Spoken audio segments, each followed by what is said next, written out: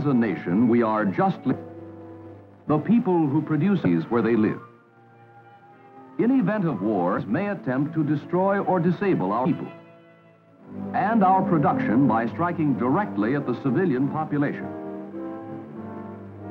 Denied the products of our farms and factories, we could not wage war on any front. We can be attacked in spite of our excellent defenses. Attacks may be made in many ways, with bombs or with biological weapons. This might be one form of biological warfare. But you may have heard. There's a new poison. One ounce can kill all the people in the United States. Germ warfare can wipe out an entire city. Nothing could be further from the truth. Biological warfare? What do they expect me to do about it? It's not my headache. You're wrong. You had better find out the facts about biological warfare, or BW. It can be aimed at you in your home, or at work, at your food crop, your livestock. Biological weapons can be divided into three groups, germs, toxins, and plant growth regulators. Some germs cause cholera, others cause typhoid fever, plague, and such diseases. Toxins are special poisons produced by other germs. They do the harm in diseases like food poisoning and diphtheria. Special plant growth regulators can destroy food crops, just as weed killer can destroy weeds. The public health nurse and the many other members of our public health system have been fighting nature's biological attacks for years. We have proved that our health and medical systems check the spread of infectious diseases. Our livestock and crops are guarded by a nationwide network of federal, state, and local agencies and experts. Government regulations assure the purity of many food products. But BW attacks can be made in spite of our health safety systems. Aerosols containing disease germs could be used. These aerosols could be spread over large areas. Submarines could release aerosols near coastal cities. Specially designed germ-carrying bombs could be dropped. Enemy agents could contaminate the city water supply. How can we protect ourselves from BW attacks? Keep yourself and your family clean. Don't help germs by making things easy for them. Germs have trouble living in clean places. Enroll in a Red Cross home nursing course. Then if sickness does come to you, you'll know what to do. Always report sickness promptly. And doctor, Mary's temperature is over a hundred. Good morning. Here's the news. Civil Defense Headquarters announced today that the sharp increase in the number of cases of illness during the last few days have led authorities to suspect that a biological warfare attack may have taken place. As yet, the cause of this outbreak has not been identified. Civil Defense Health Authorities recommend that you should take the following precautions. If such an announcement is made in your city, don't give way to fear. Just remember that scientists would already be working to control the outbreak. Probably some of the people in your neighborhood would become sick. Reports of the disease would start pouring into health and medical authorities. The number and location of cases would be plotted on a map of the area. Scientists would go to work immediately to identify the cause of the disease. Meanwhile, the outbreak would take on a definite pattern. There are important things you can do in your home if you are told a biological warfare attack has taken place. Be careful what you eat and drink. Canned and bottled goods are safe, but scrub them before opening. Packaged foods in cupboards and refrigerators are probably not contaminated. Boil or cook all exposed food before eating. Water used for drinking or washing after an attack must be boiled. Wash all contaminated garments thoroughly to remove germs or toxins. If your doctor recommends sending a member of your family to the hospital, cooperate.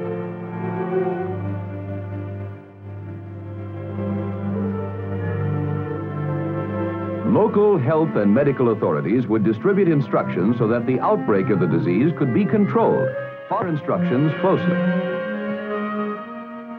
If you are called upon for a blood sample, don't hesitate. Blood samples would be extremely important in helping the scientists identify the germs or poisons.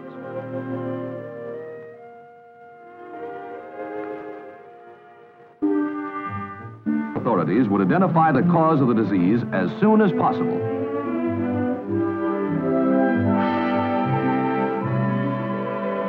The recovery of those already sick would be speeded up with the use of modern drugs. Mass inoculations might be necessary to keep the disease from spreading. This would require the cooperation of everyone. Remember, BW attacks food crops, livestock, and people. Our health and medical systems are the foundations of our defense against biological warfare. Our food supply is guarded by a nationwide network of federal, state, and local agencies and experts. If we are attacked with biological warfare, health and medical authorities will tell you what to do so that the disease could be brought under control. Cooperate with the authorities. Above all, don't listen to scare talk, rumors, or myths. Get a copy of this official booklet at the first opportunity. Read it and remember it. Do your part, and we can successfully combat biological warfare.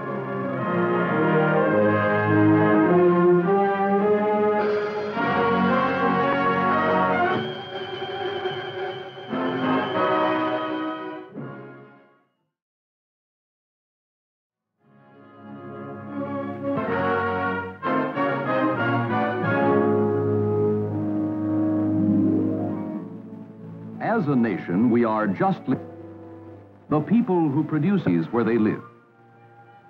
In event of wars, may attempt to destroy or disable our people and our production by striking directly at the civilian population. Denied the products of our farms and factories, we could not wage war on any front. We can be attacked in spite of our excellent defenses. Attacks may be made in many ways, with bombs or with biological weapons. This might be one form of biological warfare. But you may have heard There's a new poison. One ounce can kill all the people in the United States. Germ warfare can wipe out an entire city. nothing could be further from the truth. Biological warfare? What do they expect me to do about it? It's not my headache. You're wrong. You had better find out the facts about biological warfare or BW.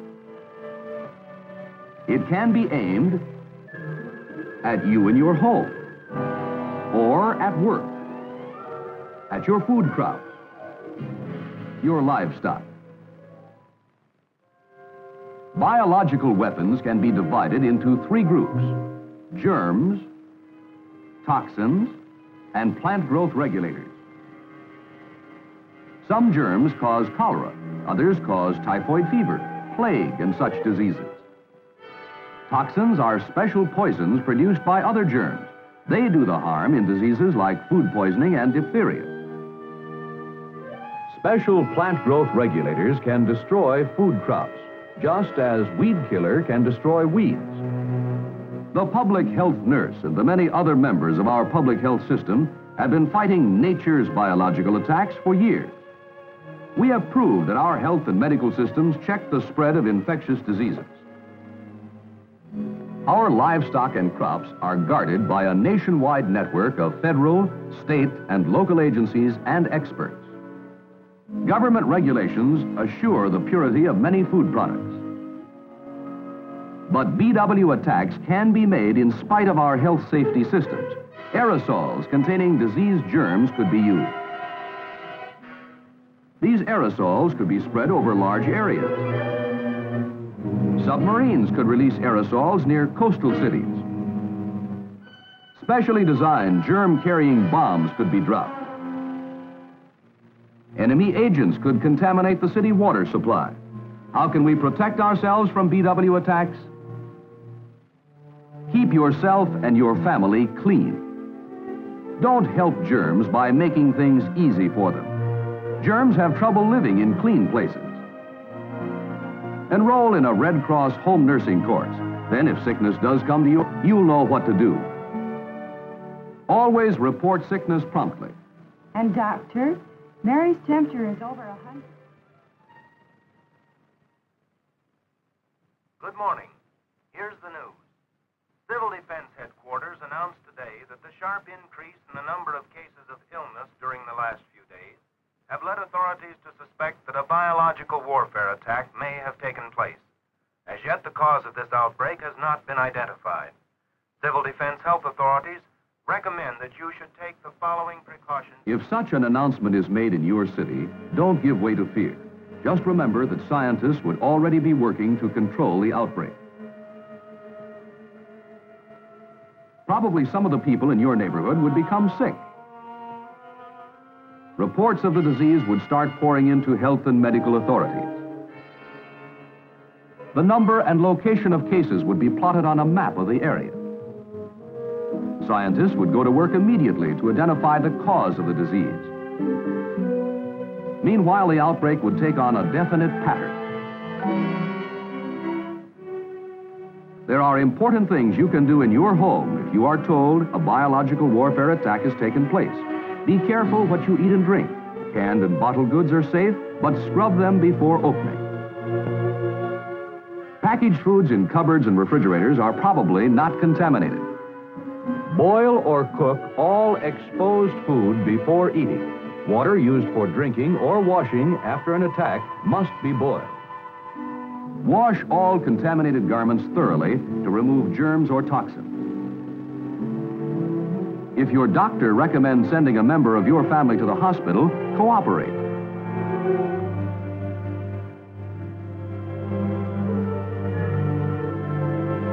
Local health and medical authorities would distribute instructions so that the outbreak of the disease could be controlled. Follow instructions closely. If you are called upon for a blood sample, don't hesitate. Blood samples would be extremely important in helping the scientists identify the germs or poisons.